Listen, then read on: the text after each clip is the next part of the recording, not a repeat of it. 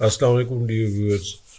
Viewers आजकल हुकूमत पाकिस्तान एक मुल्क की सर्वे कर रही है, जिसके मुताबिक जो लोग नॉन टैक्स फाइलर हैं, यानी कि वो टैक्स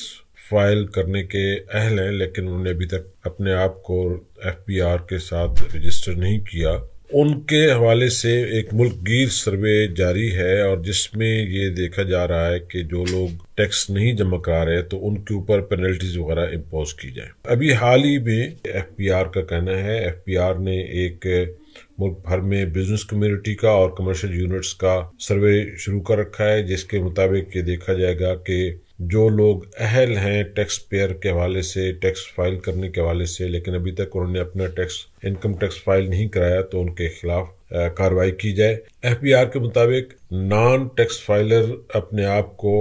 अपने करीबी टैक्स ऑफ़िस में रजिस्टर करवाएँ। अदरवाइज़ उनके खिलाफ कानूनी कार्रवाई की जाएगी और उनके ऊपर मुख्तलिफ़ किस्म की पेनल्टीज जो है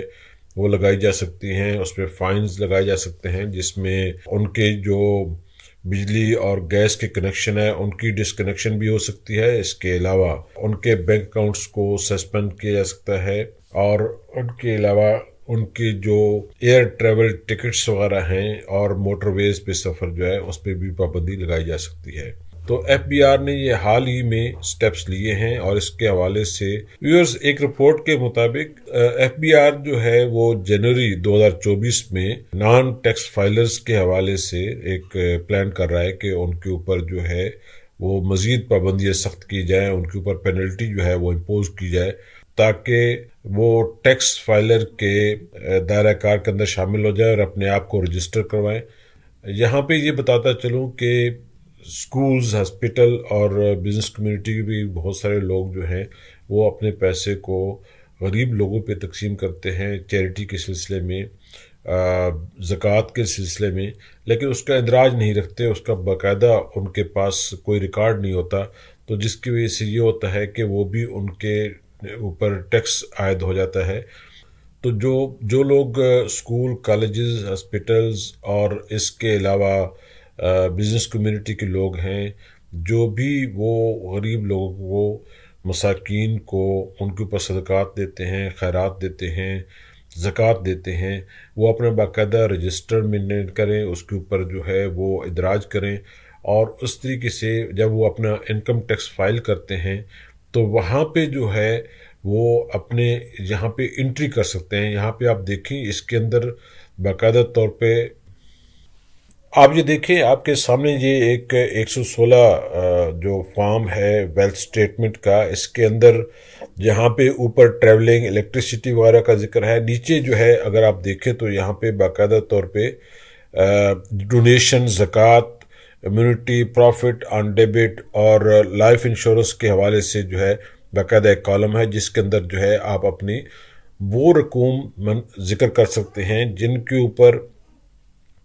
जो कि आपने खैरात के सिलसिले में या ज़क़़त, सदक़ात के सिलसिले में लोगों पे तकसीम की है और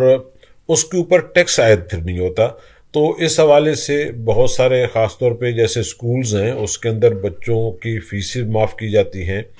तो उनका रिकॉर्ड मेंटेन किया जाए कि जिन जिन बच्चों की फ़ीस जो है सालाना बनती है, वो बाकायदा यहाँ पे इंदराज की जाए कि मसलन पच्चीस या तीस या पैंतीस जो भी बच्चे ज़क़़त के मुस्तक थे और उनके ऊपर जो है उनको छूट दी गई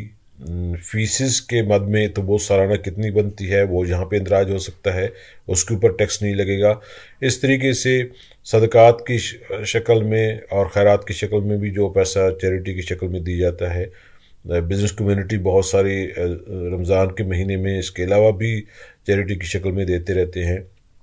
हॉस्पिटल्स के अंदर बहुत सारे जो है मरीज़ों का इलाज मुफ़्त किया जाता है और वो चैरिटी की एक शक्ल होती है। ज़क़़त की मद में उनके ऊपर जो है वो उनका इलाज किया जाता है। तो ये यहाँ पे जो है बाकायदा कॉलम मौजूद है और इसके अंदर जो है ना आप लिखेंगे तो बाकायदा तौर पे जो है उसके ऊपर टैक्स आयद नहीं होगा। इसके अलावा यहाँ पे एक और बहुत ज़रूरी बात कि इसके अंदर जो आपने